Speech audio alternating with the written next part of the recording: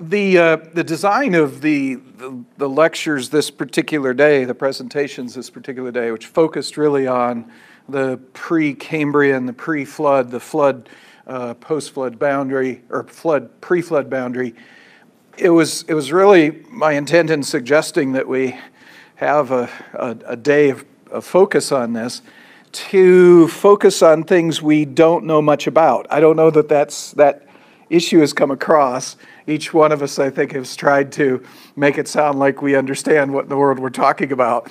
Uh, but uh, when, it, when it comes to reconstructing Earth history, um, I, I, don't know, i would like to create what I'm about to describe to, to help people understand it. But it is this, is if you have a picture that you're going to make into a jigsaw puzzle. So you, you create the picture, uh, you then chop it up into a jigsaw puzzle with all the pieces, you know, in that fashion. Now, let us take the jigsaw puzzle pieces and uh, mix them up and then uh, uh make another jigsaw from that. Okay, so you rearrange all the pieces on the, and then you glue them all together or whatever in that new arrangement. Now let's make a new jigsaw puzzle of that, that mess and then take those pieces, jiggle them up, and fuse them together, and then make a third jigsaw puzzle uh, out of that. Now, put the pieces back together again. You might find it fairly easy to put the first order jigsaw puzzle piece together and realize that you now have pieces of further, of an earlier puzzle that you now have to cut up and somehow rearrange and put together. When you, alas, have discovered that, that new picture, you realize it's a picture of further puzzle pieces that have been rearranged from a previous time. And you then have to cut that up, rearrange it, and put it back together again.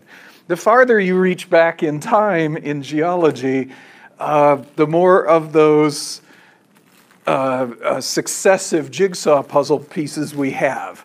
We look at the recent geology, hey, that's almost no brainer easy to put the puzzle pieces together. But the farther we go back in time, the more the pieces have been arranged, rearranged. The old rocks of the earth, uh, in fact, have been rearranged a number of times. And to make it worse, we've got in creationism a catastrophe or two that really muddles the pieces up. Uh, so the farther you go back in time in creationist history, it's a really substantial challenge. Uh, you can do the post flood Arphaxadian period fairly well in reconstruction. As soon as you move into the flood, you've got a major rearrangement, and the more difficult, the, more, the farther back in the flood you go, the worse it gets.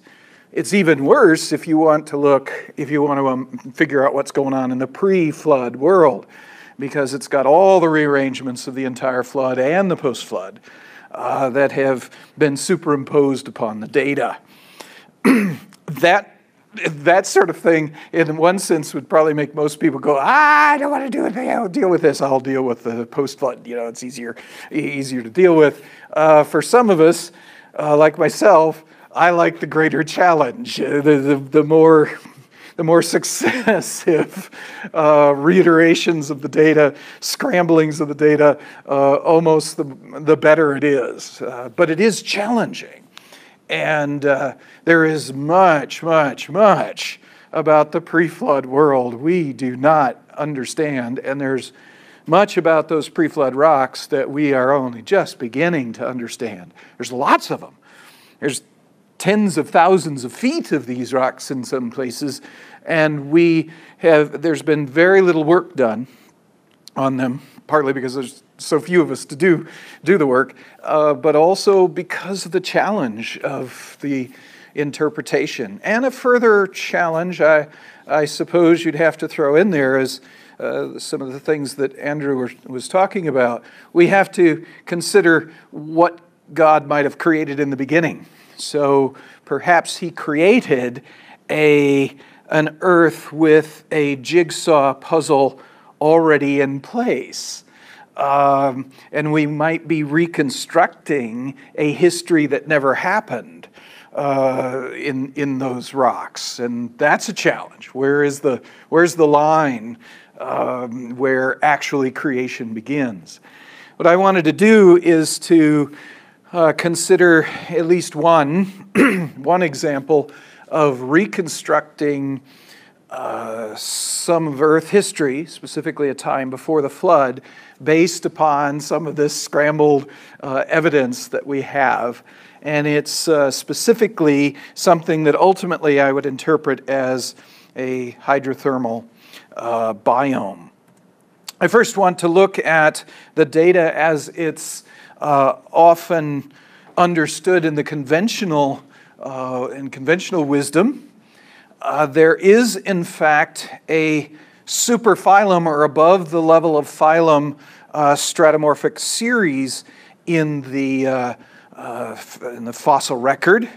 Uh, so we're talking above super above phylum would be kingdom kingdom level sequence of fossils that uh, uh, evolution maintains can be explained by evolution and might be a challenge to other worldviews and it's um, it's, it's really easiest seen in the fact that the Precambrian has no macrofossils. In other words, no, macro, no fossils you can see with the naked eye. They're, they're, the fossils we have are microfossils.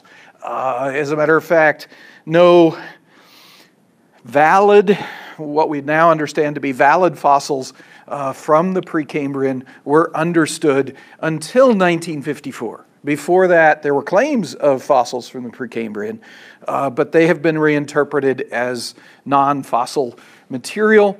And uh, it, it, was, uh, it's only with the advent of the application of the microscope to the Precambrian rocks that we discovered bacterial fossils, uh, that we actually could see real fossils in the Precambrian. Also, a closer examination of the rocks just immediately below the Cambrian uh, revealed that there were actually, but there are not very, very many places in the world where these rocks exist. In the um, on the North American continent, we have the Great Unconformity. That Great Unconformity is found on most continents, and it's very difficult to find a place where the unconformity doesn't exist.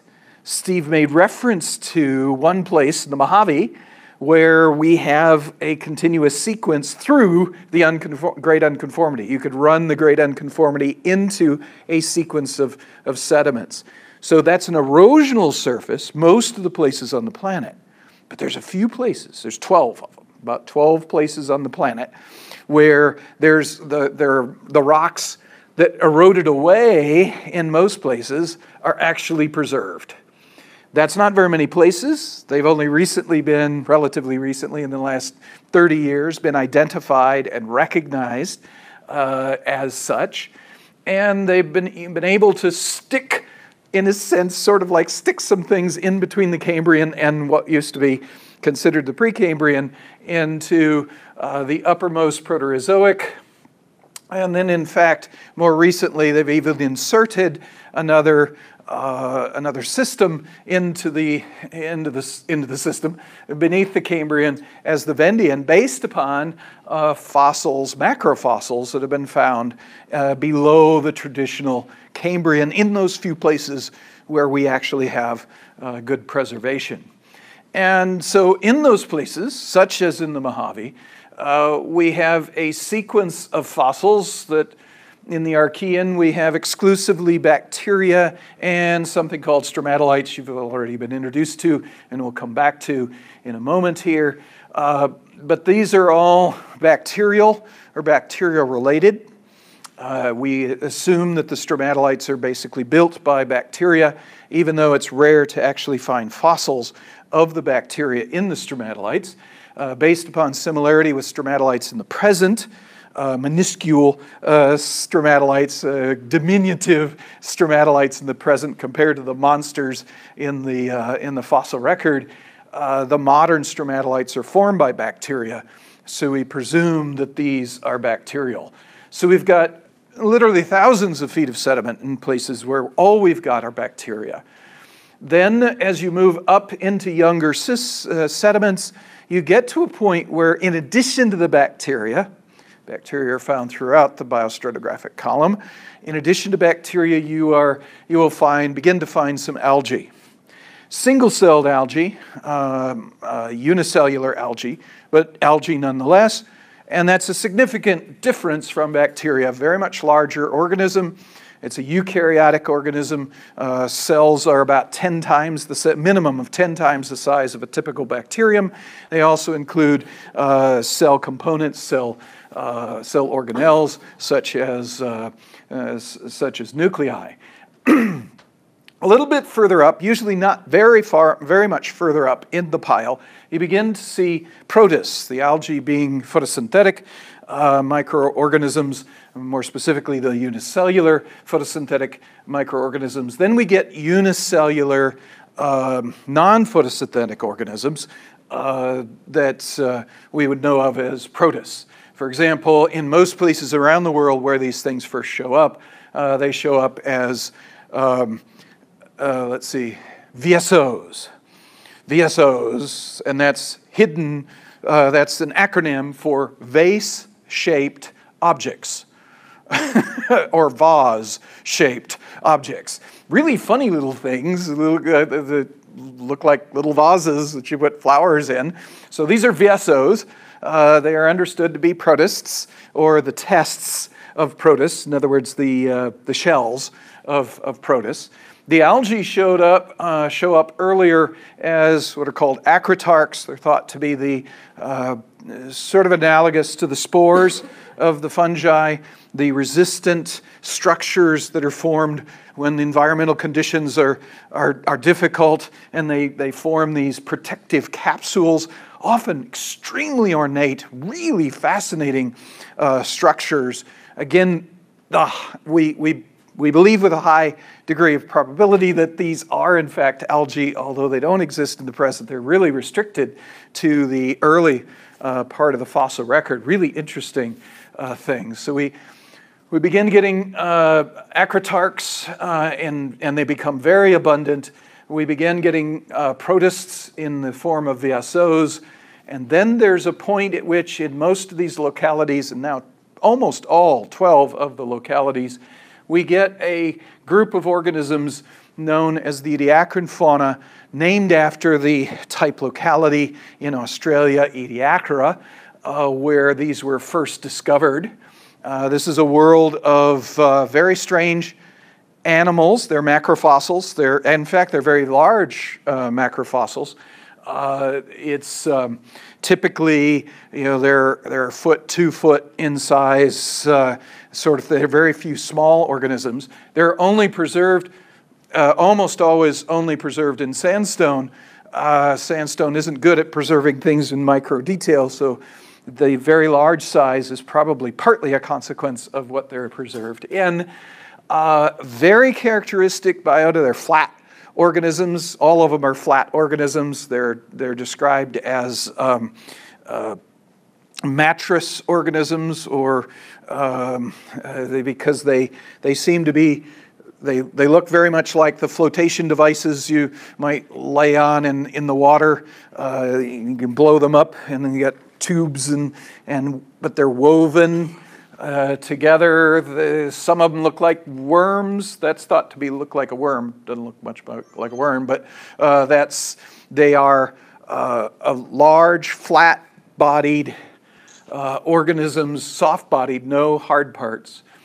Above them, invariably following them, although you sometimes have ediacaran fauna that continue, you have another group of organisms known as the Tommotian uh, fauna, uh, named after the Tommot uh, area of Russia.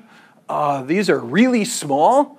Uh, they are uh, almost all cone-shaped calcium carbonate shells you don't know what they are, uh, but they could be little spicules on the skin of a soft-bodied animal. They could be a shell in which an organism actually lives. In other words, is an organism smaller than that. The little guys are little. Uh, the largest one, I think, is about an inch long or something like that. They're really, really small. Uh, So they could be structures on the outside of an organism or an organism lives within them. Or maybe there's another possibility. There's all sorts of, in the fossil record, we have these kind of structures inside organisms. So who knows? We really don't know. Um, but you'll have a layer of the Tommotian fauna before you move, continuing on upward, you get your trilobites uh, the lowest uh, layer of trilobites known as the Atbanian uh, trilobites in the Atbanian fauna. And there's this, in, again, an invariable sequence. There's only 12 sites, as I said, where, where you have these sediments preserved, but in most of those sites, we have all of these in the same order. And, uh, and it, it's just the fact that you have an order, even if we don't know what in the world they are. is, is an interesting, uh, interesting issue. Why is it that they have an order? Of course, evolution would say you just evolved one organism into another. And they might challenge us to say, well, how is it that you can have, if you can preserve bacteria, surely you can preserve other organisms. So, I mean, especially if you've got uh, spores flying through the air, uh, which are very resistant, easily preserved pollen flying through the air, easily preserved, even if you're a long ways from everything else. Why don't you have anything else but bacteria preserved in tens of thousands of feet of sediment? It looks as if, and it's the easiest explanation, the only thing that existed on the planet at the time these things were formed is, in fact, bacteria. So it looks like there's a long period of time in Earth history where all that existed were bacteria. Then there was a significant period of time, because we're talking still about thousands of feet of sediment in some cases, where you have bacteria plus algae, as if some of the bacteria evolved into algae. And that's all that existed on the planet for a very long time. The algae is not, uh, these acritarchs are somewhat resistant. Uh, and that's why we probably find them. But again, if there were, if there's real spores, real uh, pollen, surely you'd have those things around. So the evolutionary explanation is that only bacteria existed here. Bacteria evolved into algae here. We evolved our protists from other, probably other bacteria uh, here, and um, and so on. And it's an easiest. It's a, it's the most elegant explanation for these creatures. Um, and so that brings us to a, a, location that Steve has already alluded to.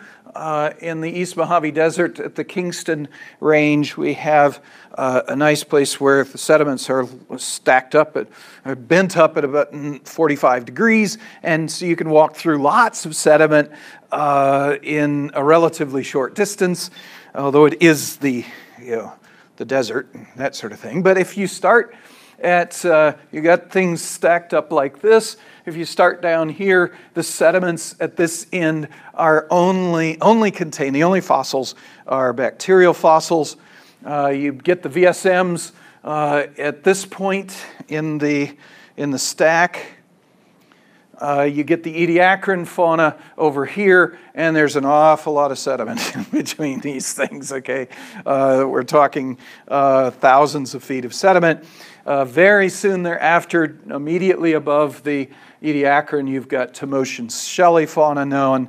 And then um, very soon after that, we got the Atbanian trilobites. And it's a very dramatic uh, uh, appearance of trilobites here. So you can literally walk through a continuous sequence of these, uh, the, these sediments and fossils. Uh, and it's not just true here, as I said, it's, it's true in the other locations where this sort of thing is preserved. Uh, it's a total of 15,000 feet of sediment that you can walk through like this. So you're walking through thousands of feet, 7,000 feet, all bacteria. That's all you have. Okay, and uh, I'm not. I don't want to disparage bacteria because I love them. They're wonderfully diverse and but it's that. Why isn't there anything else? Question uh, that uh, you have. And, um, and then there's another mm, pretty close to 7,000 feet where you got bacteria plus uh, the, the one celled eukaryotic organisms. before you finally get uh, what some people think are the more interesting things. Um, it's uh, when you move from, as Steve has already alluded to, if you back off of the, the, that area to the west of the Grand Canyon, move towards the Grand Canyon, you get to where there's a great unconformity uh, that, um, that is that's there. And you're missing all of those all of those sediments. Uh, there's one place in Nankoweap Butte where we uh, we get uh, up close to those, but we're still missing a bunch of sediments even there. But in the Grand Canyon. You got the Chuar group here, uh, which is exclusively the only fossils in the lower part of the Chuar group are bacteria. Uh, and just below, as you work your way up the Chuar, you eventually get to the 60 mile formation there on Nankoweap Butte. And just below Nankoweap Butte's summit there, just below, below the 60 mile formation, you get the VSMs. Uh, so even in the Grand Canyon, even though you don't have all of it, uh, we've, we, the first trilobites we get are actually significantly up into the Cambrian. They are not the Atbanian trilobites, and we're missing the Tommotian and we're missing the, uh, the, uh, the Ediacaran. But we are getting the first two of those, the bacteria and then the protists and algae. Uh, there's also, I don't know if, yeah, I've got the, um, in the Chuar group, we also have the, uh, the acritarchs and that sort of thing as well. And here we got about 25,000 feet up between the lowest sediments with bacteria up to the place where we're getting close to the, um, uh, the boundary. So we have a, a stratomorphic series. Uh, again, even though it doesn't necessarily, we don't understand these things, it is nonetheless some sort of a sequence of fossils uh, which is in different parts of the world. Uh, and must be or should be explained. so, we, the traditional interpretation is that it's an evolutionary sequence involving vast expense, expanse of time.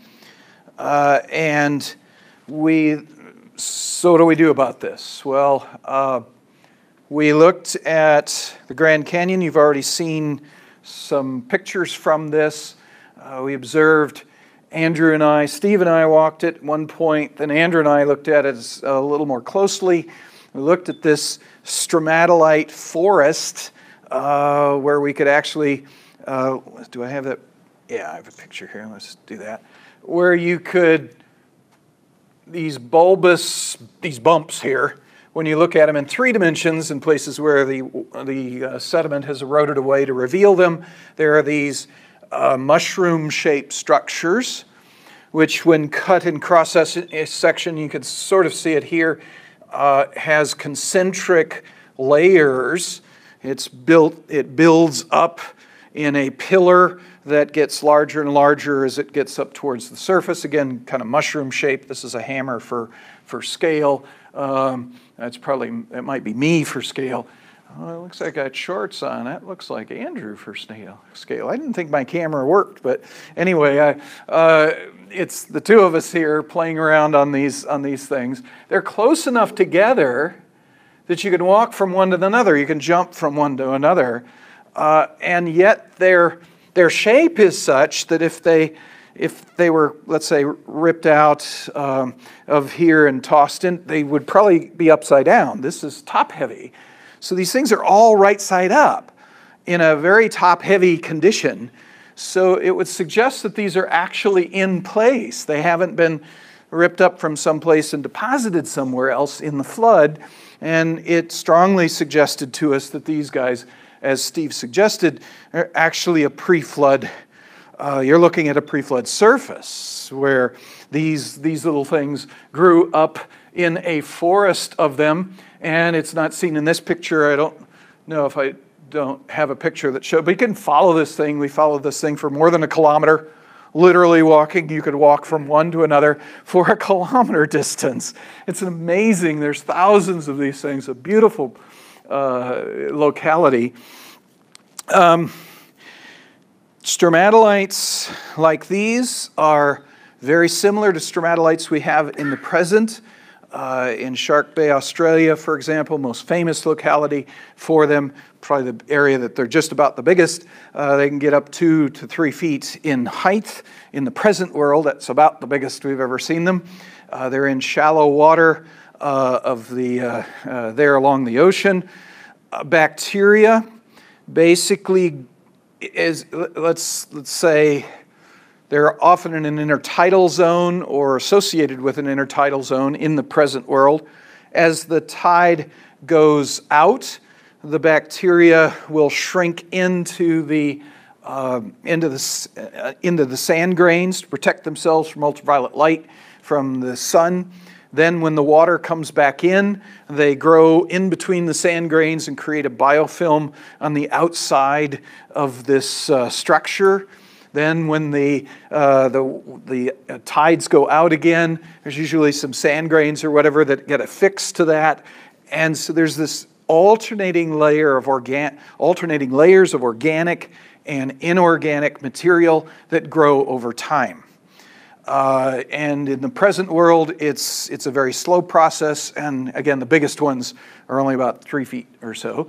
These guys are significantly bigger, but they have the same structure, alternating layers of organic and inorganic material. We don't find fossils in them. We haven't, uh, nobody that I know yet has actually observed uh, the uh, uh, fossil bacteria in place in these things, but we presume that's what made them, uh, as in the present. So we're talking about a forest of stromatolites built by bacteria uh, and, uh, and when you see this in place, and this is almost what it would have looked like then, but underwater, it's as if it's a, it's a reef structure of uh, there's enough of these things that they would be they would baffle waves and function as a reef.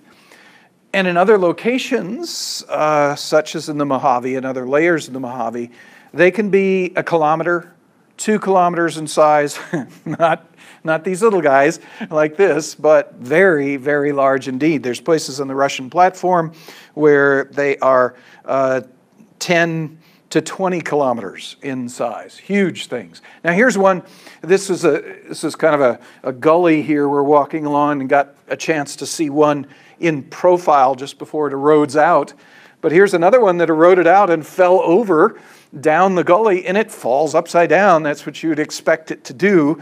Uh, so seem to be seem to argue that these things are actually in place, and it's only when they're eroded out that they turn over to their their proper hydrodynamic position.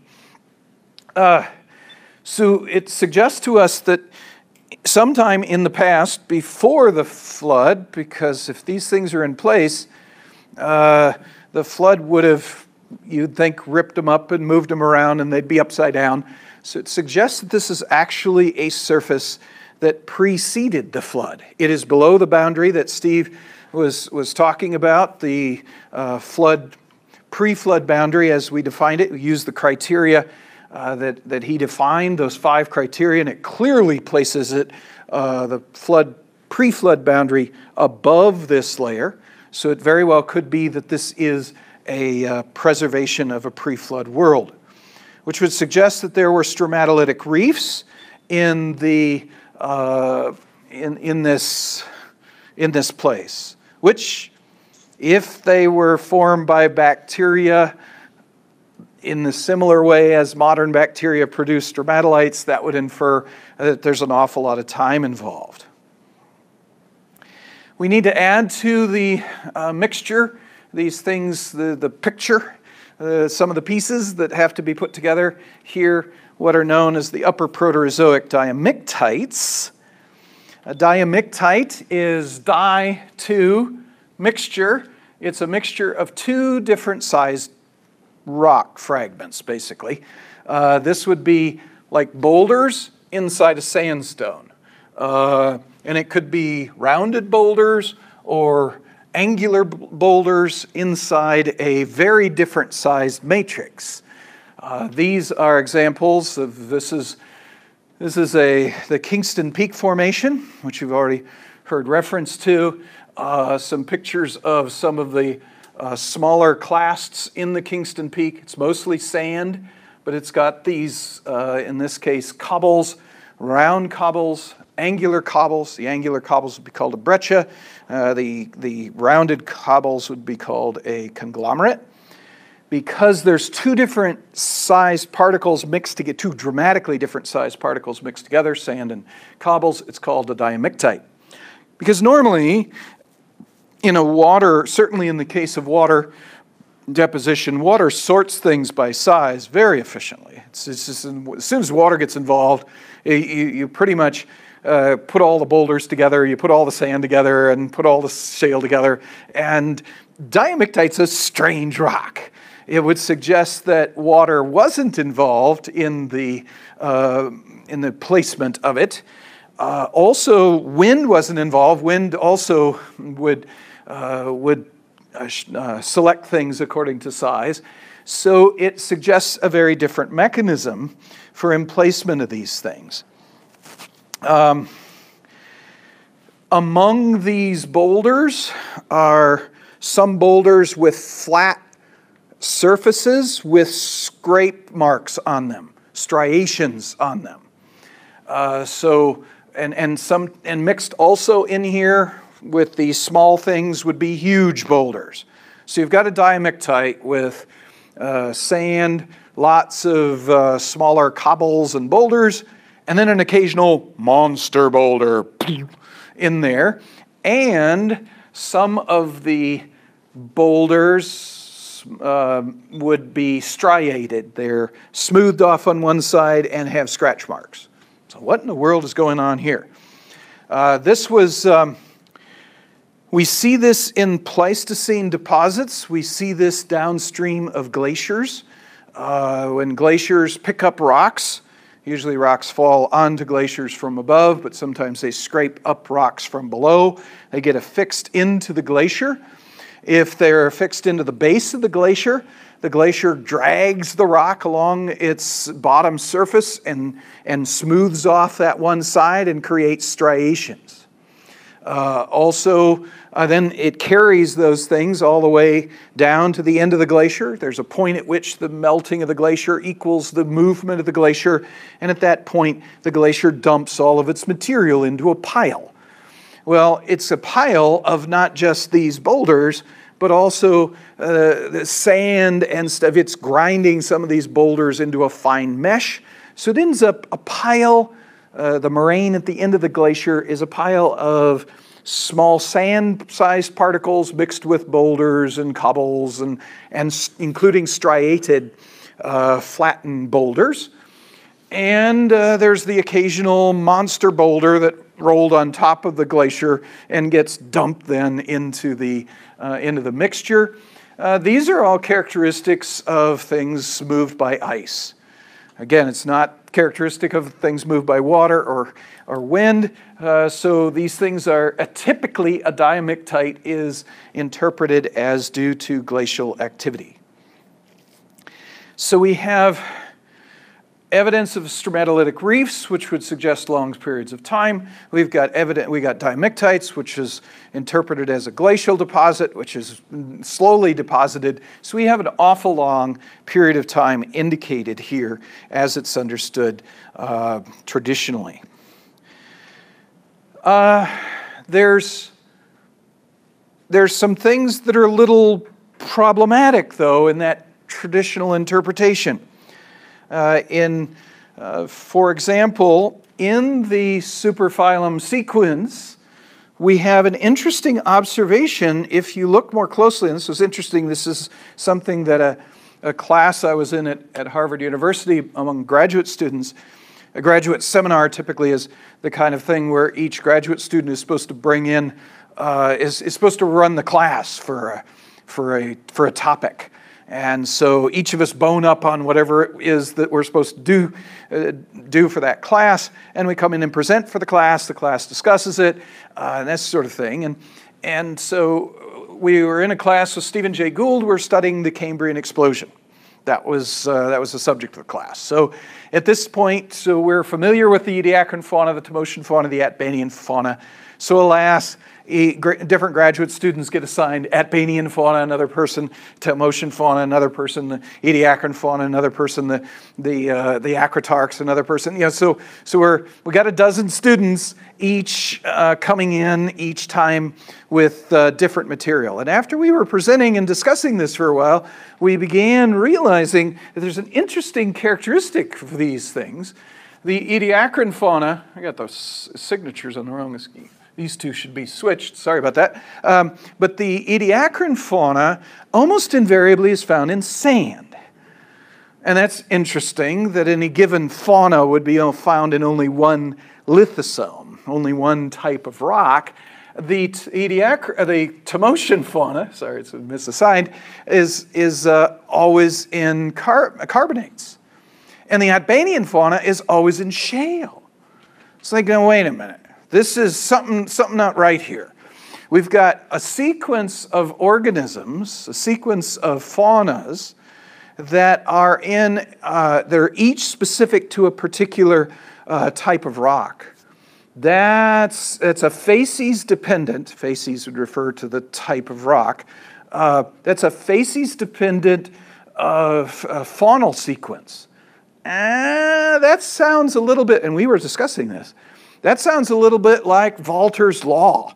Uh, there is this law that we law. It's a it's a principle in geology. If you see a series of different uh, lithosomes uh, stacked in a particular order, it could be that the order is due to a transgression event or a regression event where the first thing is formed in shallow water. The next thing is formed in deeper water. The next thing is formed in even deeper water. There could be that what you see vertically could be reflective of what the world was like horizontally at the time of deposition. So you're actually not looking at three different aged things, you're looking at three different things at different positions.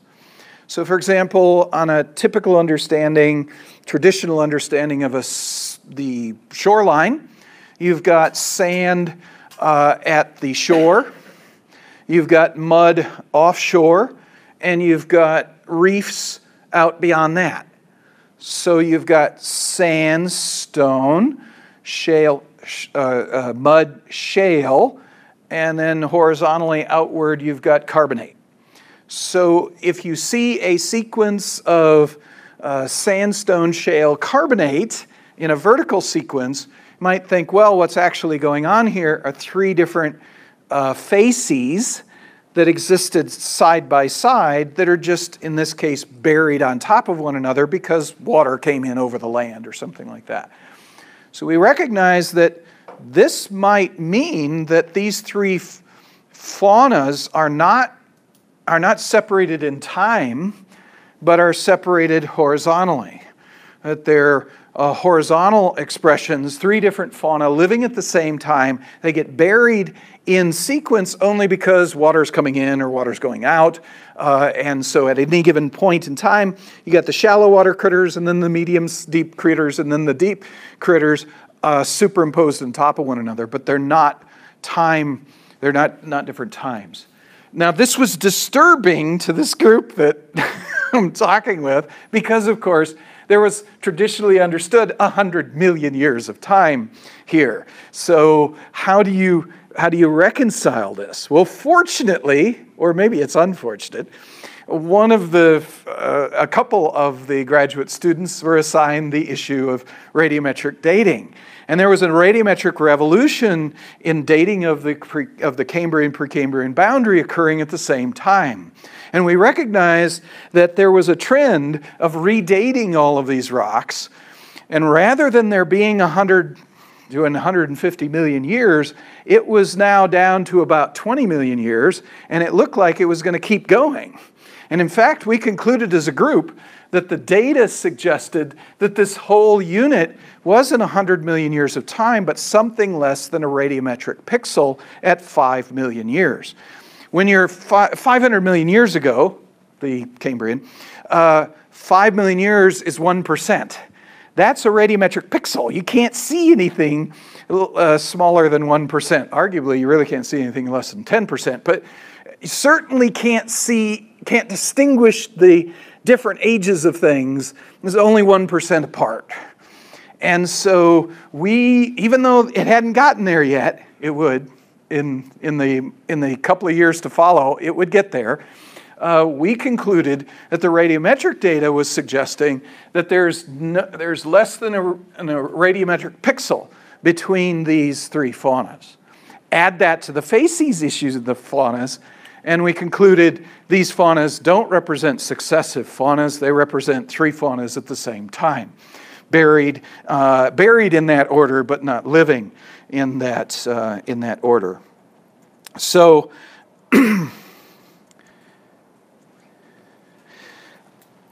when you then, then the, the, but the, the, there, there became another issue that we, once we decided on that and were satisfied with that, we then thought, well, wait a minute, there's only 12 places where this is found and they're all in the same sequence, how does that work?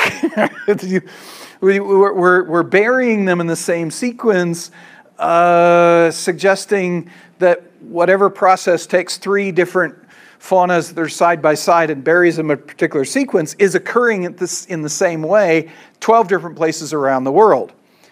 At the same time, that was the next question. We then asked, okay, if uh, how closely can we determine the age of the 12 different deposits around the world?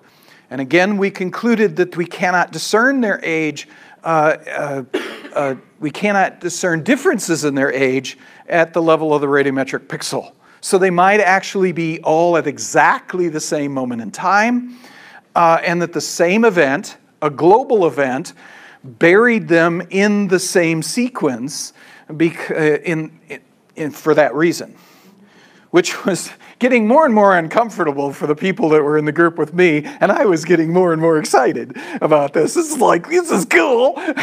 okay, this, this is a global event, no time is involved, and perhaps there's no time sequence involved at all. It suggests that, uh, in my mind, I'm thinking we got a global uh, uh, inundation event, a global flood event. So we've got this suggested that perhaps the uppermost Precambrian are actually the very beginning of the flood deposits and that they're preserving a pre flood ecological sequence of some sort. Now let's turn to the upper Proterozoic diamictites, which are also part of the story. When we look at these puppies in detail, we begin to see some extraordinary things. It's hard to see in this particular photograph, but we have these things called exploded boulders. We're finding these boulders really big and they're exploded. Um, if you draw a line around the boulders and, and that sort of thing, it's a little easier to do. It, it's often sometimes hard to do even in place, but you recognize that all the pieces are separated, but you can see where they could be put back together. The jigsaw puzzle pieces fit and just just put them back, move them over a few inches, and they just slip right into place. So the boulder in cross section looks like it's been blown up and then frozen right there. It's like, what in the world is that? We have, uh, we have phenomena called sturzstroms, which are very large avalanche deposits. A sturzstrom is caused whenever a pile of rock, something in excess of 1 billion metric tons, is dropped more than one kilometer. Uh, if you reach those conditions, even if, if it's in water or if it's in air or even in space, any one of those conditions, you drop more than a billion metric tons of rock one kilometer. What happens is a sturzstrom results. So sturzstrom is a Greek, a Greek, a, a, a, uh, a German word that means river of stone. It hits the ground and shoots out uh, at 100 to 200 miles an hour across the landscape as a river of stone, taking out cities, taking out, this is rock, moving, and it moves as a unit until it reaches about 10 to 11 times its width in length, and then it loses its energy and freezes in place. Not on a cold freeze, but a and when you cut into the stuff and look at the boulders, those boulders that dropped a kilometer explode upon impact, and the pieces move apart inches and then get shot along with everything moves at the same velocity, but sand and that sort of thing makes its way in between the pieces so that when it freezes in place, you have an exploded boulder. And so we know the mechanism of the exploded boulder. Now remember, this is a diamictite. It's supposed to be a glacier. Moving extraordinarily slowly over long periods of time and then melting the little puppy out. There's no mechanism for sturzstrom in that. In the, there's no sturzstrom there. You, so that puts some doubt in this diamictite interpretation as a glacial deposit. A second problem is that these diamictites, which are found around the world at this particular level, are have when you do paleomagnetic work on them to indicate their latitude, latitude indicates they're basically at the equator. Okay, they're equatorial. Uh, there's some other evidence that indicates that, that they're, they're going over marine waters, so they're equatorial ocean. Equatorial oceans are warm. That's not where you expect to find glaciers. You don't you find glaciers in mountainous regions. You do not find them at the equator. If you find them at the equator, they're on top of mountains. They're not associated with mountains with with equatorial oceans. But many of these uh, diamictites are low magnitude, near the low low equatorial uh, mag, uh, latitude. So what's going on there? Uh, interparenthetical note, by the way after this work was done and this uh, since that time the conventional world has actually taken note of this and taken this seriously and went well i guess that means there were glaciers at the equator across equatorial oceans. And so now there's another uh, period of earth history called the cryogene which is the period of frozen earth there's the, it's the period of a frozen earth idea. That because the evidence indicates we have diamictites at the equator in the ocean, it must have been that the equatorial ocean was frozen. And if the equatorial ocean was frozen, everything's frozen, right? My question on that, and I'm still in that parenthetical note here, is if you've got the whole earth frozen, how do you move glaciers how do glaciers pick up rocks and move and drop rocks? They don't get, nobody can move. They're frozen.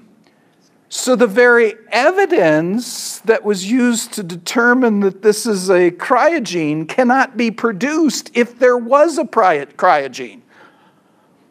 You can't do it.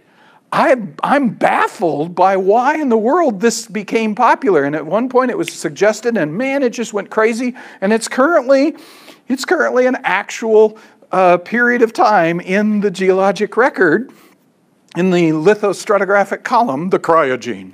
Are you kidding? But anyway, close parenthetical note. Uh, there's the low magnitude, low latitude mag, paleomag evidence. This stuff is thick. It's in excess of a mile in thickness. The diamictite is huge. Diamictites produced by modern glaciers are tens of feet thick, tens of feet in, in depth. Uh, Pleistocene glaciation produced, again, tens, maybe up to 100 feet. There's 72 feet of, of um, uh, gravel uh, under Chicago. Uh, that's, that's a pretty deep uh, for, for Pleistocene glaciers, that's pretty, pretty deep. These things are in excess of one mile. They dwarf the, any known glaciers we have today uh, quite significantly. And I think, actually, I, I had to stop doing research in this area because killed off all my, my assistants. They wouldn't come with me anymore. Um, but I was, I was deducing I think I was right on the verge of concluding that actually the true depth of this unit is something in excess of three miles. Uh, and, but that's, so I think it's even thicker than a mile. And also, there are enormous boulders in here. Steve has made allusion to this. This is one of the smaller ones, about a quarter mile in diameter. it's, it's, it's actually funny. Steve and I started work on this area. We just happened to choose just this one place, and we started work on this. We're taking uh, geological observation, making geological observations for days. And we're putting in faults and this sort of thing where you would put in faults because we changed the angle of the rock and all of this. And at the end of this, Steve says, you know, there's something wrong here. this is not working um, because our faults were beginning to define a circle. it's like, you see, that's not what faults do. and he says, do you think we're actually on a boulder? you know, I mean, when you're on the ground and you got a, something that big, how do you know that it's, I mean, we, we mapped for days on a boulder and didn't realize we were on a, a one boulder. The boulder is itself with layers of rock, so there's a geology in the boulder. And, uh, but it doesn't match the geology of the stuff it's in. And eventually, you know, we got our heads screwed on right and we realized, whoa, this is a boulder. Cool. And then that began a series of discoveries of boulders, bigger and bigger boulders. we even rented a plane at one point to see this because you just can't see it from the ground. It's like now it's even better. You can go on Google Earth. That's the best photos of these things is from Google Earth because they're so big. Uh, this is amazing. So now here's a problem. When you get up to and some of these are bigger. They're mile, mile in diameter boulders. When you get to that mass, that size, they've got a fair bit of mass to them. There's a problem with, with ice.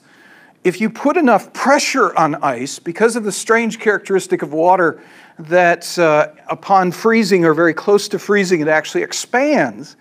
And if you put enough pressure on ice, it actually melts. This is the only substance that does that in the universe, okay? But if you put a big enough rock in ice or on ice, it melts the ice underneath it. The ice might be able to roll it in front of it, but it can't carry a boulder that is a mile in diameter. it melts the ice underneath it. So we've got this problem of these enormous boulders. And they're not just enormous boulders, they're imbricated. They're laying on top of one another. It's like, yeah. You can't carry, you can't have floating ice carrying a boulder that big and dropping it onto the as a drop stone. And it just don't work. So suggests something is not right with the glacial interpretation. And again, here we have uh, boulders, big boulders out here, imbricated in place. Bunch of them one layer with, there's three of them sitting on top of one another, imbricated. There's several more over here. These are, these particular ones are about a mile in diameter, about 200 meters thick, kind of dinner plate shaped things, sitting in place and, and stacked in this fashion. Just you can't explain this as if there's a current or or a an avalanche direction in a particular direction, uh, which suggested to us that this is not at all a, uh, a glacial deposit. This is an avalanche deposit. You got the Sturzstrom caused exploded boulders. You're carrying enormous boulders. So it's an enormous deposit, uh, enormous avalanche deposit that apparently dropped a long distance, something in excess of, of one mile, uh, or one kilometer, sorry, at least one kilometer, and then shot quickly across the landscape, and it's, and it's, a, it's a, an avalanche deposit that's more than a mile thick. So this is a monstrous avalanche deposit. Uh, and the thing is about this that they, you can find these puppies the same age around the world. So these are not glacial deposits. By the way, the striated boulders, that avalanche, that avalanche material, it's the same way glaciers uh, smooth out boulders and then striate them. This avalanche does the same thing to boulders. So we, got, we can explain all of the features, the diamictite and everything by this. But we find these crazy things through the middle of Australia, uh, through the middle of, of uh, Asia. they're across, they're global. Uh, on their, and they're dated radiometric within a radiometric pixel of one another. They're the same age. See, whoa, what's going on here? It suggests that we've got an event that created avalanches worldwide of enormous extent. Uh, what could this possibly be? We suggested that, in fact, this is the collapse of, a, of the pre flood ocean, the edge of the ocean, uh, the edge of the continent before the flood. Big pieces of uh, continental mass broke off and fell into, again, you got a, in the current ocean, you got four kilometers depth between the edge of the continent and the bottom of the ocean. So you've got, you've got the sufficient vertical for the, to get a Sturzstrom kind of situation. And if it's a big enough hit, you can collapse the continental margins around the entire world. So we've got, uh, we're talking about the pre flood flood boundary, and we've got a pile of rocks here in the Mojave and a pile of rocks in the Grand Canyon. We've got the discontinuities that are referred to before. Uh, and so we can put the, this allows us to determine where the pre flood boundary is likely to be. And uh, I'm going to skip through this. You've already seen this particular diagram. We'd suggest that the pre flood flood boundary is in these positions, basically at the base of the Kingston. We're in the middle of the Kingston Peak Formation uh, in the Mojave. Uh, and that puts the stromatolites below this point. So the stromatolites can be actually a preservation of a pre-flood world. Uh, the where the position uh, here here we have a sequence of rocks leading up to the uh, the boundary.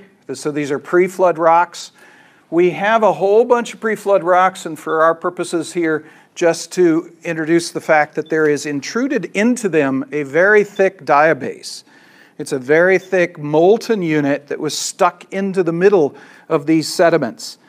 And so if we look at the, what's underneath the stromatolites, is we have a lot of sediments formed by water, uh, which are intruded by a big diabase uh, sill in fact, there's more than one sill.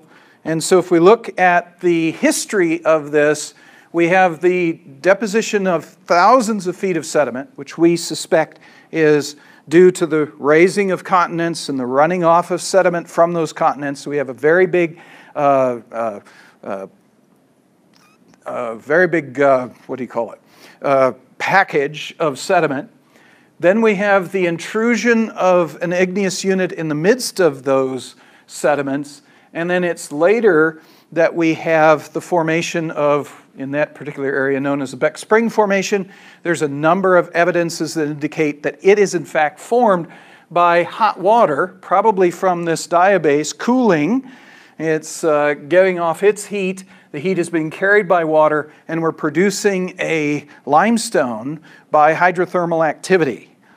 And it's, this is the context upon which the stromatolites are observed. So, and here's some of the evidences for the uh, hydrothermal activity, and I'm going to skip through that. In the Grand Canyon, we also have evidence of intrusion into sediments that we think were formed in day three of the creation week by the raising the continents.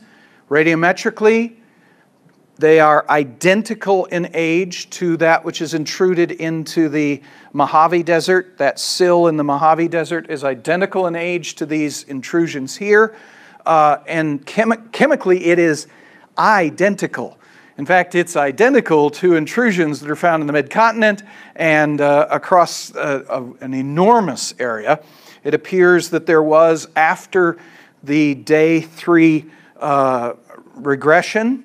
Uh, there was an intrusion across the North American Laurentian uh, area of this uh, huge body of, of hot molten rock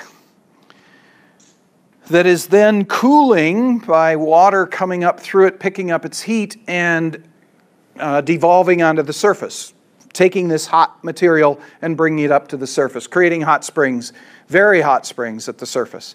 It's in that context that we find the, uh, the stromatolitic reefs of the Grand Canyon. So it's my, it's my hypothesis that actually these, these stromatolitic reefs are formed in the hot water generated by, the, uh, by this intrusion, and that the reason that you don't have anything but bacteria in these rocks is because nothing else can live in these rocks, and it's specially designed.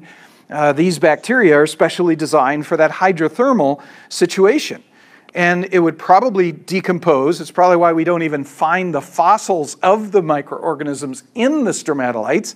It would decompose organic matter, and probably even if there were uh, spores and that sort of thing that floated into this, that's all decomposed by the hydrothermal situation.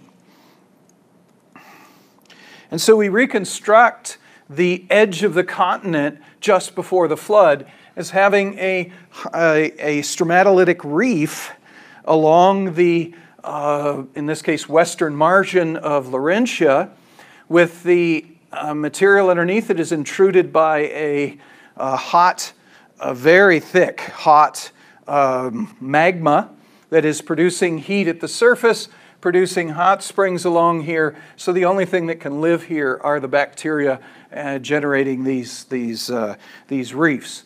That in turn produces a lagoon in between the uh, westernmost portion of the continent and the terrestrial portion of the continent. And in that lagoon, we can have uh, microorganisms living there. I would suggest your Ediacaran fauna are living in sands that are in one particular location, probably deep because of their morphology. Tommotian fauna living in a carbonate environment uh, and the Atdabanian fauna living in uh, muds that are closer to the land.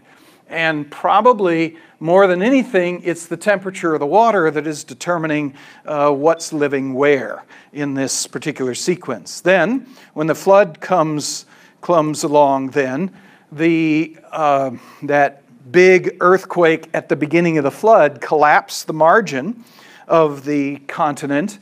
Uh, so I haven't got there yet. For 1600 years, we're building up stromatolites and critters are living happily and so on and so forth. And then at the beginning of the flood, there's a collapse of the continental margin around the world.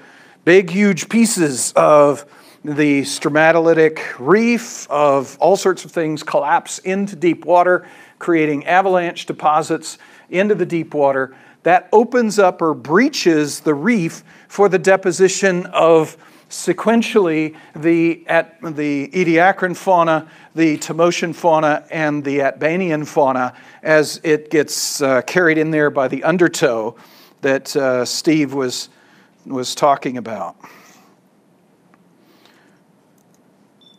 So, that wasn't I need to work on that PowerPoint.